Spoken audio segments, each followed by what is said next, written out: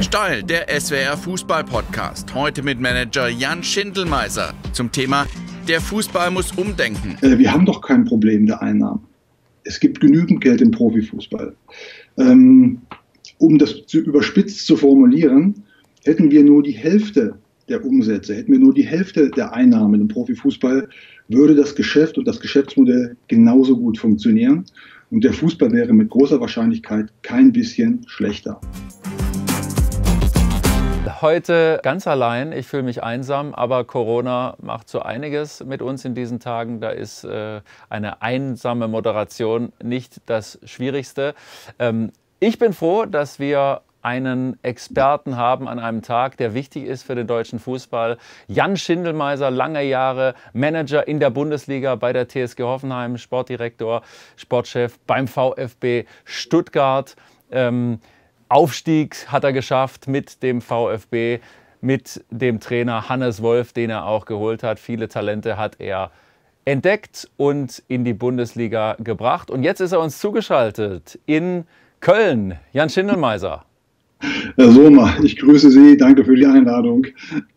Die Tendenz in Deutschland geht im Moment, was die politische Diskussion angeht, klar Richtung Geisterspiele, dass diese stattfinden können, dass die Saison vielleicht zu Ende gespielt werden kann. Ist dann alles gut für den deutschen Fußball? Keine Spiele sind, äh, sind, sind keine Alternative. Ähm, so es denn so kommt, dass die Bundesliga spielen darf, muss man ja zunächst einmal dankbar sein, äh, dass sie die Chance erhält, dass der Fußball die Chance erhält, in Deutschland äh, äh, diese Möglichkeit zu nutzen. Basis ist ein sehr gutes Konzept, das vielleicht noch an der einen oder anderen Stelle, aber auch naturgemäß ähm, noch Fragezeichen offen lässt, die man aber auch auf ähm, kurzfristig gar nicht lösen kann bezüglich möglicher Infektionen äh, von, von, von Spielern. Aber dass die Bundesligisten die Chance haben, jetzt wieder Fußball zu spielen, ihr Geschäftsmodell ähm, existenziell abzusichern, letztendlich auch wieder auf die äh, TV-Schirme äh, zu kommen und äh, einen kleinen Schritt zurück zu machen ähm, ähm, auf dem Weg, den wir uns alle für die Zukunft äh, vorstellen. Das denke ich ist erst, einmal eine positive Nachricht. Wenn wir über den Fußball sprechen, den wir sehen werden bei den Geisterspielen, da befürchte ich, äh, ähm, dass das äh, schwierig sein wird. Also dass wir da keine, es ist äh, sicherlich im Augenblick auch nicht das äh, allerwichtigste äh, Thema, aber dass wir da keine Top-Leistungen sehen werden. Ich denke, wir müssen unsere Erwartungshaltung auch ähm, ein Stückchen reduzieren und äh, das, was dort ähm, gespielt wird, auch als solches äh, betrachten, als ein äh, Anfang und als äh, ähm, der Versuch, eine Saison zu Ende zu spielen. Ähm, es hat ja noch einen weiteren wesentlichen Aspekt. Äh, welche Konsequenzen hätte es? Tun wir das nicht? Wir sehen es ja gerade in, äh, in Holland, ähm, wo die Saison äh, abgebrochen wurde welche Entwicklungen sich daraus ergeben können. Mhm. Fragezeichen bei der Besetzung der, der Platzierungen auch hm. fürs nächste Jahr im europäischen Wettbewerb. Aufstieg, Abstieg, äh, Relegation. Ähm, da hängt ein riesen Rattenschwanz dran. Wenn wir uns den ähm, auch mit Geisterspielen, die keiner toll findet, ersparen können, dann wäre das schon ein ganz wesentlicher Schritt. Was sagen denn diese Diskussionen über die Existenzangst vieler Bundesligisten, über das Gesamtsystem Fußball aus? Sie haben jetzt gerade über den psychologischen Aspekt gesprochen. Wir haben bisher immer nur über die Finanzen gesprochen. Aber was sagt das aus, dass ein Betrieb, der 4 Milliarden Euro Umsatz macht pro Saison in der Bundesliga, so klagt, wenn mal ein paar Wochen nichts geht? Ja, also ich denke, zunächst einmal muss man festhalten, dass ähm, dieses Klagen respektive diese Sorgen um die Existenz äh, der eigenen Unternehmung der Fußball nicht exklusiv hat. Äh, schauen Sie in die Wirtschaft, da ist das ja äh, aufgrund des Volumens noch viel ausgeprägter. Da brauchen wir Milliardenbeträge, dreistellige Milliardenbeträge, um Unternehmen zu retten, die natürlich auch eine gewisse Systemrelevanz haben. Aber auch äh, Player im, im Sportbusiness, nehmen wir Adidas, ähm, äh, brauchen Unterstützung, äh, haben große Nöte, haben im vergangenen Jahr noch äh, Milliarden Gewinne ähm, äh, erwirtschaften können. Also die Sorge um die Existenz des jeweiligen Geschäftsmodells, die hat der Fußball äh, nicht, nicht exklusiv. Ich kann Ihre Frage natürlich verstehen. Ähm, und es sollte nicht so sein. Das ist auch ein Thema für die Zukunft, dass das nie wieder passieren darf, dass ein Club ähm, auch mit dreistelligen Umsätzen pro Jahr, 250, ähm, 280 Millionen äh, Euro, Schalke wurde immer wieder genannt, ohne jetzt mit dem Finger auf jemanden zu zeigen, nach einem sehr kurzen Zeitabschnitt nach vier Wochen oder nach sechs Wochen schon Gefahr läuft, in eine, ähm, eine veritable wirtschaftliche Schieflage zu geraten. Das darf nicht passieren. Äh, das wird auch eine der Konsequenzen sein für die Zukunft. Dort auch ähm, äh, eine Eigenkapitalbasis zu schaffen, auch Notfallpläne zu organisieren unter dem Dach der Liga mit Unterstützung der jeweiligen Clubs, um da Reserven aufzubauen für ähm, ja, exogene ähm, Krisensituationen, für die die Bundesliga ähm, ähm, de facto die Gesellschaft äh, nichts kann. Niemand kann, äh, hat die, die Situation, die jetzt eingetreten ist, äh, zu verantworten. Aber ist das realistisch? Ist das tatsächlich realistisch, so wie Sie den Fußball kennengelernt haben, wo jeder bei 100 oder 105 Prozent operiert, um hinterherzukommen, um den größtmöglichen Erfolg zu sichern? Alles ist orientiert fast ausschließlich am kurzfristigen äh, Resultat am nackten Ergebnis. Wie kann es denn sonst sein, dass ähm, ein, ein Club oder auch ein Trainer, der mit einer Mannschaft arbeitet, nach äh, zwei oder drei Spieltagen in Frage gestellt wird? Müssen wir unsere, unseren Blick ähm, auf den Wettbewerb, auf das, was auf dem Platz passiert, auch äh, verändern?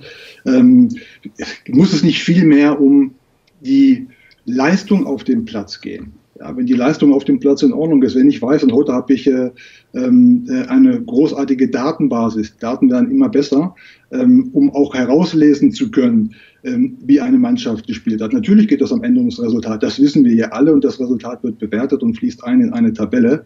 Ähm, aber wenn die Mannschaft einen guten Fußball spielt, wenn sie sich eine Reihe von Torchancen herausspielt und wenig zulässt äh, und es aufgrund ähm, unglücklicher Umstände zu Niederlagen kommt, kann ich nicht äh, den, den, den Club, die Führung, die Strategie und schon gar nicht den Trainer äh, innerhalb kürzester Zeit in Frage stellen. Wir haben ja ähm, noch in der Winterpause auch bei Trainerentlassungen gehört, wir können dem Trainer, Zitat, wir können dem Trainer keine Vorwürfe machen, aber das Momentum hat gegen ihn gesprochen. Das ist natürlich brutal. Und wenn man äh, diese äh, Vorgehensweise ähm, äh, zu Ende denkt, dann führt das genau in diese, in diese Konstellation, dass alles nur auf den ausschließlich kurzfristigen Erfolg ausgerichtet ist und dass die langfristige Perspektive ähm, äh, komplett hinten runterfällt. Und da haben natürlich auch die Medien eine gewisse mhm, Verantwortung. Mhm, absolut. Kann man sie und gar nicht persönlich nicht von freisprechen. Wie häufig ähm, äh, lesen wir oder haben es auch in der Winterpause äh, gelesen, ähm, dass Clubs, die nicht noch einmal Geld in die Hand genommen haben, das sie gar nicht hatten, aber mit der Argumentation in das Risiko getrieben wurden, ihr müsst doch was unternehmen, ein Abstieg kommt doch viel teurer. Oder wenn ihr die Champions League nicht erreicht, dann wird das noch viel teurer. Ja, und wenn man dann davon ausgeht, dass mehrere Clubs um diese eine Position kämpfen, dann werden automatisch einige hinten runterfallen, die sich übernommen haben, weil sie dieses sportliche Ziel nicht erreichen konnten und sich daraus dann auch äh, ähm, ja, wirtschaftliche Konsequenzen ergeben. Dann fehlen nämlich die Mehreinnahmen, auf die ich gehofft habe. Und das wieder aufzuholen, ähm, insgesamt wirtschaftlich, aber auch was die Reputation des Clubs in der Öffentlichkeit angeht, das ist äußerst, äußerst schwierig. Aber Sie haben es ja gesagt, diese fehlende Kontinuität, die ist ja auch teuer. Und diese Panikkäufe, die man hat, Sie selbst waren ja beim VfB Stuttgart, gern genommenes Beispiel für sowas. Wie viele Trainer hatte der VfB Stuttgart in den letzten 15 Jahren? Äh, es waren viele, ich glaube so um die, um die 20. Und das kostet ja alles Geld. Nicht nur die Gehälter, die du bezahlen musst äh, für Leute, die nicht mehr für dich arbeiten, sondern eben auch neue äh, Konzepte kommen rein, neue Wünsche für Spieler. Das kostet ja alles Geld. Natürlich, es gibt jedes Mal einen Bruch in der, in der Ausrichtung. Und äh, wenn das ähm, häufiger passiert, innerhalb von fünf Jahren drei oder vier Mal und dann tatsächlich auch ein, äh, vielleicht ein Trainer kommt mit speziellen Vorstellungen und die Clubführung, die sportlich Verantwortlichen, keine klare Linie, gemeinsame Linie etablieren, dann haben sie am Ende dort einen Kader stehen, der natürlich vorne und hinten nicht mehr zusammenpasst. Und das ist ja heute auch der Schlüssel bei der Planung auch eines, äh, eines Teams. Das bedarf einer gemeinsamen Linie. Da müssen Menschen zusammenkommen, ähm, die äh, diese Pläne entwickeln, die sie gemeinschaftlich umsetzen, die, die, die zusammenhalten und die auch nicht ähm, vor den ersten Winden, die entstehen, wenn bestimmte sportliche Ergebnisse äh, ausbleiben, äh, zusammenbrechen, ähm, sondern diesen, wenn der Plan gut ist, ähm, diesem Plan ähm, treu bleiben.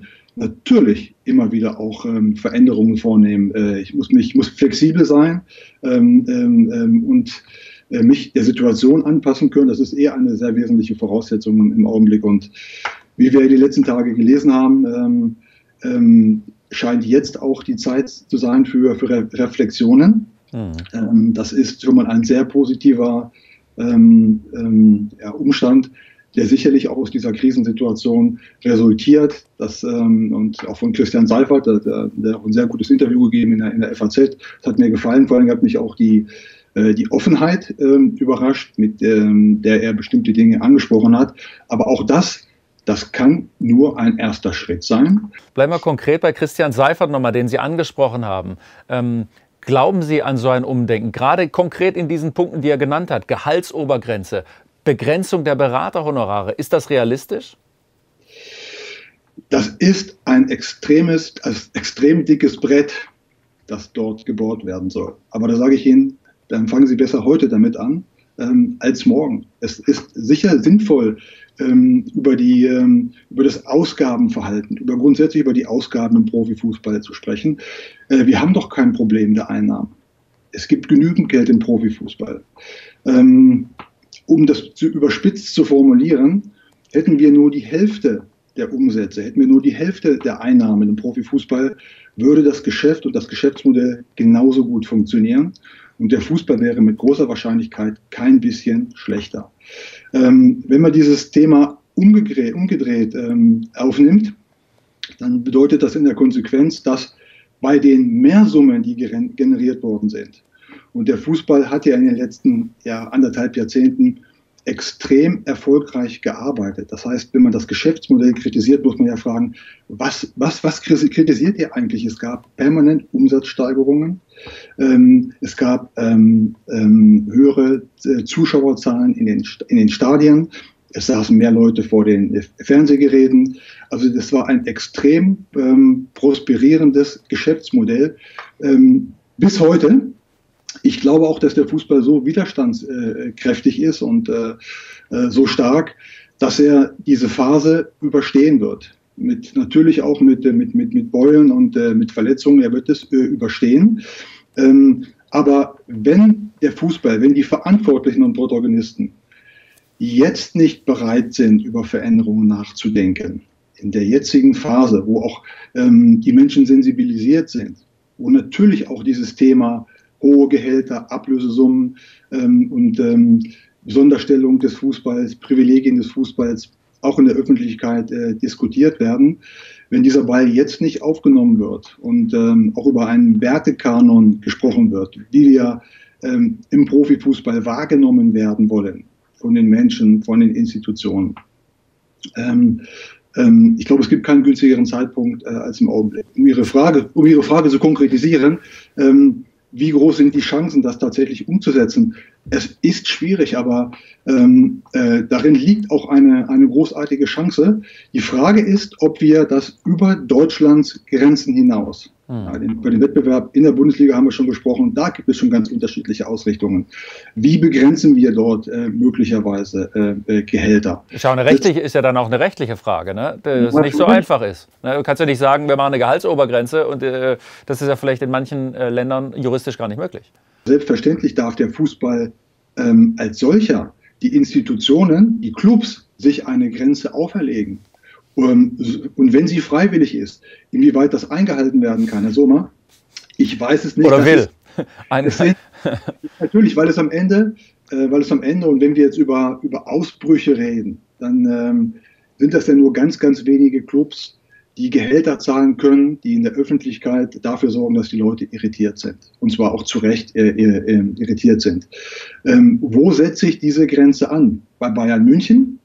Bei dem Gehaltgefüge oder ähm, bei Schalke oder bei, bei Mainz 05 oder, oder Paderborn äh, macht man so etwas fest, an den Umsätzen, die ich, die, die, ich generiere. Es gibt da ja einige Ansätze. Allein der Verweis auf ein Salary Gap, also ein Element aus dem amerikanischen ähm, Sport zu nehmen, also sich sozusagen die Rosinen herauszupicken, ähm, ohne dann auch über die Nachteile zu sprechen, die sich aus diesem System ergeben, das macht relativ wenig Sinn. Aber am Ende bringt es doch den Wunsch zum Ausdruck, ähm, ähm, Schieflagen, so wie sie jetzt entstanden sind, äh, nicht wieder zuzulassen.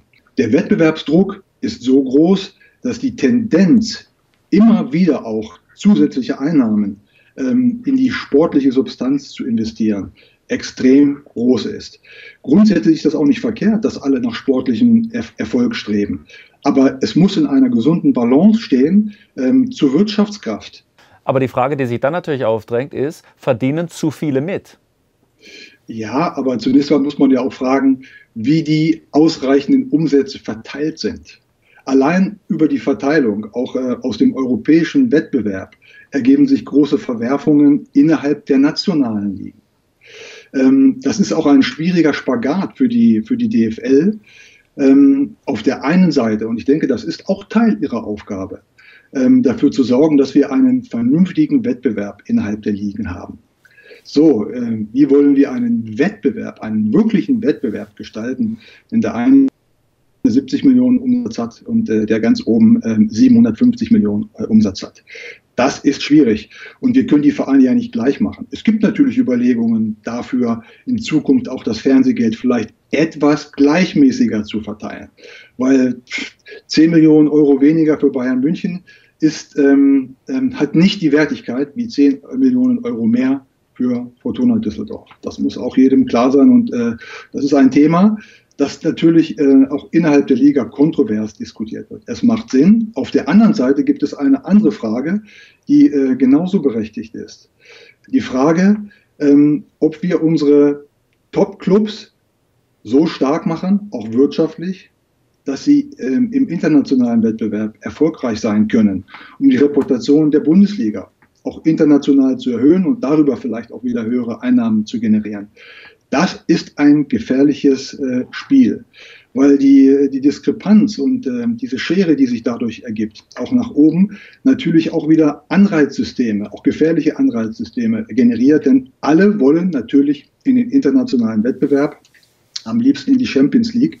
Und die Clubs, die das mehrere Jahre hintereinander geschafft haben, die sind ja fast nicht mehr einholbar, weil die Umsätze generieren, die für, für die anderen Clubs, die in der Bundesliga im Mittelfeld äh, ähm, positioniert sind, nicht einholbar sind. Und dann habe ich natürlich keinen ausgeglichenen Wettbewerb, also nicht mal ansatzweise innerhalb der Bundesliga. Das ist vielleicht ein, äh, ein Thema, also diese, diese Diskrepanz zwischen internationalem Wettbewerb, die Gelder, die dort fließen, ähm, und dem nationalen Wettbewerb anzugleichen, damit dieses äh, brutale Streben ähm, nach dem nächsten Euro, um ihn sofort wieder in äh, sportliche Substanz äh, zu investieren, dass äh, dieses Streben vielleicht etwas äh, gebremst wird. Und da sind wir wieder bei der UEFA. Ähm, oder, bei der, oder bei der FIFA, die offensichtlich ja in die ganz andere Richtung auch läuft, wenn man über Club-WM, über ja. Äh, Nations League und so weiter redet. Es geht ja gerade in die andere Richtung.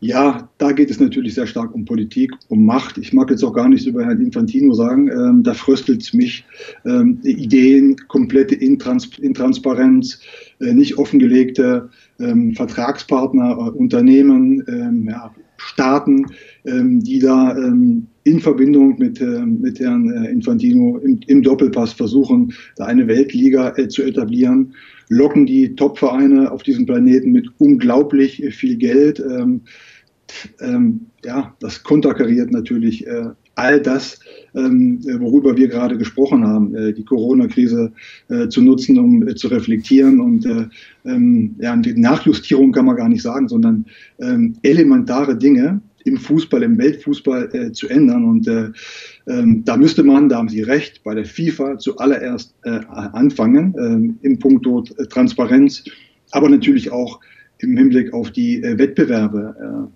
die ähm, dort angedacht sind. Also niemand braucht einen, äh, eine, eine Club-WM. Es braucht auch niemand ähm, ähm, ja, eine, eine Institution, eine Weltliga über den jeweiligen äh, nationalen und auch ähm, ja, ähm, äh, kontinentalen äh, Wettbewerben. Ähm, das weiß man ähm, in Europa. Die, die meisten Clubs, bis auf ganz wenige Ausnahmen, Juventus Turin hat sich da ja sicher auch nicht immer positiv hervorgetan mit der Familie Agnelli, ähm, schätzen den, den europäischen Wettbewerb, auch unsere Systematik, auch eine gewisse Stabilität, auch ähm, untereinander und den Wettbewerb und ähm, ähm, ja, die Einnahmesituation ähm, steht natürlich in Verbindung mit diesen Werben auch äh, von den Infantinos für größere Wettbewerbe, weil jedes Mal, ähm, wenn es darum geht, vielleicht auch die Gelder aus den europäischen, Wettbewerben etwas ähm, verträglicher zu verteilen, ähm, gibt es den Hinweis darauf, ja, aber wenn ihr uns nicht mehr Geld gibt, wenn das nicht besser auch noch an die äh, absoluten Top-Vereine verteilt wird, dann gehen wir in die Weltliga. Da muss man ja fast schon auch sagen, hey, dann geht doch bitte endlich äh, dorthin, äh, dass dieser Druck auch auf die Verantwortlichen bei der, bei der UEFA bezogen auf die Verteilung der, äh, die, der Gelder, die dort zur Verfügung stehen, ähm, aufhört oder zumindest reduziert wird. Denn Sie glauben, äh, das würde nicht funktionieren in der Weltliga? Das ist letztendlich ein Kunstgebilde und äh, ja, hat genauso wenig Sinn wie die, wie die Club-WM. Ein zusätzlicher Wettbewerb, der die Kalender aufbläht. Auch da müsste man dringend reingehen und äh, ähm, das reduzieren auf das Wesentliche. Allerdings, und ich denke, das muss man sich immer wieder bewusst machen, das gilt auch für die Bundesliga und auch für die Verteilung der Spieltage, bewusst machen, dass, wenn wir die Spieltage einschränken, auch weniger Geld zur Verfügung haben. Mhm, und da muss man sagen, ja, warum denn nicht? Was ist uns Mehrwert? Und genau an dieser Stelle sehen wir jetzt gerade die Diskussionen und die Strömungen und ähm, auch das Reflektieren dessen, was die Menschen äh, außen äh, wahrnehmen, wie sie auf den Fußball gucken. Und vielleicht führt das auch dazu, dass wir ähm, ähm, die Anzahl der Spiele und auch die Verteilung der Spiele wieder auf ein richtig gutes Maß zurückführen, auch ähm, äh, so verteilen, dass auch die TV-Anstalten ähm, die Spiele auch anders erfassen, verteilen können, dass da wieder mehr, mehr, mehr Spannung reinkommt, dass die Menschen, dass die Fans ähm, es mittragen, mit der Konsequenz, dass ein bestimmter prozentualer Anteil an TV-Einnahmen dann weniger zur Verfügung steht. Wenn wir, gerade, wenn wir gerade bei diesen TV-Einnahmen sind, ist ein sehr guter Punkt. Ähm, wenn diese TV-Einnahmen kommen, um auf die aktuelle Situation nochmal zu kommen, ist dann tatsächlich wirklich alles gut? Wir haben ja von der Wirtschaft schon gesprochen, die ja auch leidet. Stichwort ja. Sponsoren. Ja, ähm, nein, Herr Sommer. Ähm, wir sind ja nicht nur auf dem Weg, sondern wir sind schon in einer veritablen Rezession, in einer Wirtschaftskrise, ähm, dessen Ausprägung sich erst in den nächsten Monaten zeigen wird. Wir sehen jetzt so die ersten Zahlen auch aus, aus Amerika, aus Deutschland, äh, die Unternehmenszahlen im ersten Quartal. Ähm, die sind ja, da ist ja das, was gerade passiert ist, noch gar nicht richtig eingepreist und die sind trotzdem schon extrem, extrem schlecht. Ähm, wir sehen auch ähm, ja, groteske Entwicklungen, dass äh, es der Wirtschaft ähm, im Augenblick extrem schlecht geht, dass die Aussichten, zumindest die kurzfristigen Aussichten, extrem schlecht sind. Ähm, die Börsenkurse ex explodieren, sich völlig abgekoppelt haben von der wirtschaftlichen Situation, weil wir wissen alle, dass da die Zukunft abgebildet wird, aber trotzdem, das ist schon, äh, ja, schon äh, ähm, ungewöhnlich äh, zu sehen, was, was da gerade passiert. Aber ähm, es, es ist ein äh, neuer TV-Vertrag auf dem Weg. Ähm, die Werbeeinnahmen im äh, TV, davon sind auch Sie betroffen, aber auch gerade bei den äh, privaten Sendern, aber auch bei bei, ähm, bei FaceTime und selbst äh, bei, bei Google. Ähm, die werden jetzt im, im zweiten Quartal und äh, auch auf absehbare Zeit deutlich niedriger sein. Also wir reden jetzt nicht über große Konzerne, die äh, Schwierigkeiten haben, die haben extrem viel äh, Bargeld angesammelt im Laufe der, der letzten, äh, letzten Jahre, denen wird es nicht schlecht gehen. Aber die, die Tendenz, ähm, dass dort we viel weniger äh, Werbeausgaben ähm, äh, getätigt werden äh, auf Seiten der, der großen Unternehmen, das lässt ahnen, ähm, dass sich das auch auf den Fußball auswirken wird. Könnten sich Kräfteverhältnisse verschieben. Wenn man jetzt beispielsweise sieht, die Franzosen dürfen offenbar nicht mehr spielen als eine der größeren Ligen. Ähm, die Deutschen könnten spielen, dann haben wir schon mal da einen riesigen Unterschied an Geld, der reinkommt. Vielleicht auch finanzielle Probleme, existenzielle Probleme bei den französischen Clubs, die die Deutschen dann wohl vermeiden könnten. Verschiebt sich da was? Ja, natürlich, wenn äh, innerhalb Europas eine Liga spielt, wenn die Bundesliga die Möglichkeit dazu hat. Dafür müssen die Club, muss der Fußball auch dankbar sein. Ähm, aber es ist auch nicht so, dass es vom Himmel gefallen ist. Ähm, äh, die Liga hat sich intensive Gedanken äh, darüber gemacht, äh, ist vorstellig geworden, äh, auch äh, bei der Politik, bei den Entscheidungsträgern in den jeweiligen äh, Institutionen. Ähm, die Bewertung dessen, was als Konzept vorgestellt wurde, ist ausgesprochen positiv. Dass es da noch den einen oder anderen Punkt gibt, ähm, der vielleicht einer Diskussion bedarf, oder man auch einfach sagen muss, da müssen wir abwarten, was passiert, wenn es dann soweit ist, dann äh, passen wir uns an. Und wenn es gar nicht funktionieren sollte, hat man ja immer auch noch die Möglichkeit zu sagen, okay, dann stellen wir das wieder ein. Ähm, und auch darüber hinaus, denke ich, ist es auch wichtig, dass auch in Deutschland nicht alles zum gleichen Zeitpunkt wieder hochgefahren wird. Es macht doch auch Sinn, unterschiedliche, unterschiedliche Einstiegszeitpunkte zu finden für die jeweiligen Branchen, ähm, den Weg zurückzufinden in ein halbwegs äh, normales ähm, Geschäftsumfeld. Aber wenn in Frankreich nicht mehr gespielt wird und in Deutschland weiter, dann kann das natürlich zu Verwerfungen führen. Vielleicht nicht bei den absoluten Spitzenclubs. Da gibt es in Frankreich ja auch nur ganz, ganz wenige. Eigentlich einen, der das wegstecken würde. Der hat allerdings ein anderes äh, Problem. Der Thomas Tuchel muss sich Gedanken machen, wie er möglicherweise, wenn es denn dazu kommt, ähm, die Champions League zu Ende spielt. Werden wir das sehen? Werden wir das sehen, dass eine Champions League zu Ende gespielt wird? Wer kann diese Frage seriös beantworten? Ich kann es nicht, ich würde es mir wünschen, aber Sie sehen allein an diesem Beispiel, ähm, mhm. ähm, äh, dafür kann ich niemanden verantwortlich äh, machen. Auch in Frankreich gibt es natürlich ähm, ähm, auch, auch, Stimmen, die das nicht so lustig finden, dass man die Liga jetzt, äh, jetzt einstellt. Am Ende wird es äh, akzeptiert werden, aber für die Clubs, für die Clubs ist das brutal. Ähm, ähm, wie in Holland auch, wir hatten das Thema eingangs, hm. es gibt keine festen Platzierungen. Wie werden die, ähm, die Champions League Plätze verteilt? Was ist mit Releg Relegation? Gibt es äh, Mannschaften, die eine gute Chance hätten, sich vielleicht von den Abstiegsplätzen äh, äh, zu lösen? All die Diskussionen, die wir in Deutschland auch hätten, so wir die Liga nicht zu Ende spielen äh, würden äh, können. Insofern bin ich auch sehr froh, dass wir mit großer Wahrscheinlichkeit, wenn es so kommt, die Chance dafür haben, dass wenn die Saison zu Ende gespielt werden kann, uns diese Diskussionen ähm, erspart bleiben. Und äh, das wird uns noch weiter äh, beschäftigen. Also zu glauben, äh, dann schließt sich ja auch der Kreis für Sie, zu glauben, dass jetzt mit der möglichen äh, Freigabe ähm, der, der Spiele, wenn auch ohne Zuschauer, alle Probleme gelöst sind und dass es jetzt normal weitergeht. Nein, das ist ein erster vorsichtiger Schritt und es ist eine, eine Notenmaßnahme. Sie hilft sehr, ähm, aber ähm, da müssen noch einige weitere Steps äh, kommen und äh, ich befürchte, dass wir lange Zeit keine Spiele im Stadion ähm, ja, äh, begleiten dürfen, dass wir keine Zuschauer sehen werden.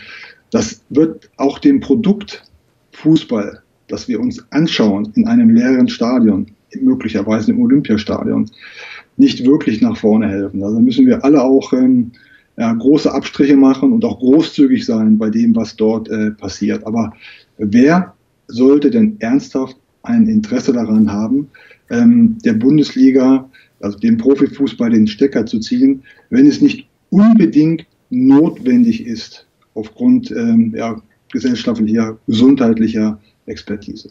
Da muss ich natürlich auf äh, eine aktuelle Nachricht kommen, die jetzt in Stuttgart gerade Thema ist. In Stuttgart waren Sie sehr beliebt, äh, als Sie beim VfB Stuttgart waren. In dieser Woche hat sich der ehemalige Berater von Wolfgang Dietrich zu Wort gemeldet in einem Podcast, Andreas Schlittenhardt, und hat gesagt, warum Sie damals denn gehen mussten, hat das äh, Verschwiegenheitsabkommen, das Sie mit dem VfB offenbar abgeschlossen hatten, ad absurdum geführt. Mangelnde Teamfähigkeit war da zu hören, kein Konzept für die Bundesliga, was die Spieler angeht. Was sagen Sie dazu? Ähm, muss ich, soll ich wirklich darauf eingehen? Also grundsätzlich, ich habe es nicht gelesen. Es interessiert mich eigentlich auch gar nicht, was er, was er gesagt hat. Mal abgesehen davon, dass das, was Sie jetzt gerade transportiert haben, ja großer Blödsinn ist. Was ich dazu sage, ist, überlassen wir das doch einfach ähm, dem Auge des Betrachters. Ähm, denjenigen, mit denen ich in Stuttgart zusammenwirken durfte über diesen Zeitraum, und damit meine ich nicht nur äh, mein direktes Umfeld, sondern äh, insgesamt die Mitarbeiter, die Fans, die Menschen, mit, man, mit denen man dort äh, äh, Kontakt hatte. Ich glaube, die können das ganz gut bewerten. Und die, ähm, die, die im Fußball, im eigentlichen Sport zu Hause sind, die können auch die Entwicklung auf sportlichem Gebiet äh, sehr gut äh, ja, bewerten. Herzlichen Dank. Dann haben wir das auch nochmal besprochen. Das war wieder sehr spannend. Jan Schindelmeiser, herzlichen Dank, dass Sie sich Zeit genommen haben und alles Gute für die Zukunft. Bleiben Sie gesund. Ich danke Ihnen. Danke für die Einladung. Tschüss. Steil der Fußball-Podcast. Wenn es euch gefallen hat, lasst uns mal bitte ein Abo da hier oder schaut mal hinter Jens rechtes Ohr. Ganz tolle Folgen. Klickt mal drauf. Lohnt sich.